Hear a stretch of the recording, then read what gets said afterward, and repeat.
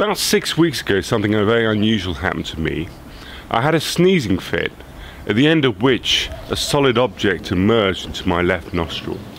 I retrieved this, and upon examination, it turned out to be the rubber sucker from the end of a child's projectile weapon. I didn't know where this had come from, but when I phoned my mum a few days later, she told me that when I was seven, they took me to hospital uh, thinking I'd swallowed one of these items. So it would seem that this object had been stuck in my nasal cavity for 43 years. Strange, but I promise you, true.